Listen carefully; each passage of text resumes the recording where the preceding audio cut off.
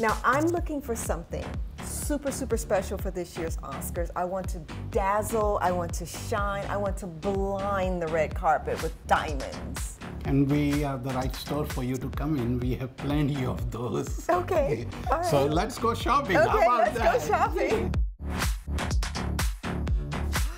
Come to mama. Yes, please. Oh my gosh, this is gorgeous. I love that feeling when diamonds touch your neck. Yeah, 106 carat total weight of diamonds oh on that. goodness. You said 106 carats? 106 carat. That's a 10 carat diamond. 24.71 carat diamond. Almost 25 carat. This is about 375,000. It's one and a half million dollar. Yes, yes, yes, it is. Well, we have something spectacular for you to see. Okay. Well, everything in here has been pretty spectacular up to now, so. But when you see this, you're going to go through the roof. Okay. Come on, close your eyes. Oh my gosh, this is so beautiful. I've never, ever seen anything this monumental. That's the word. Oh my God.